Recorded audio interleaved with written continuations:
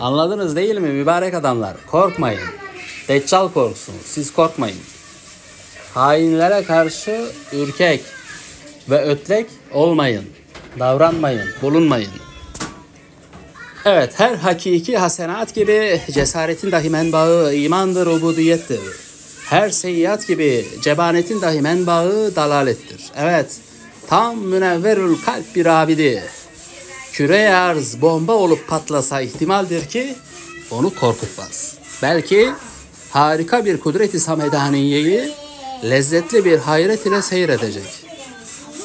Fakat meşhur bir münevverül akıl denilen kalpsiz bir fasık feylesof ise gökte bir kuyruklu yıldızı görse yerde titrer.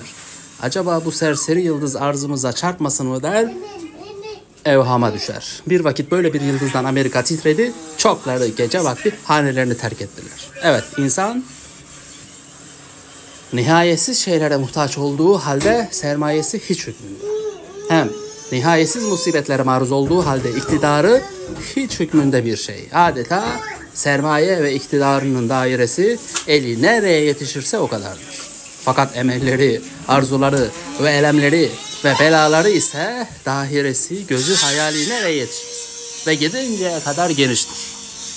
Bu derece aciz ve zayıf, fakir ve muhtaç olan ruhu beşere ibadet, tevekkül, tevhid, teslim ne kadar azim bir kar, bir saadet, bir nimet olduğunu bütün bütün kör olmayan görür, derk eder.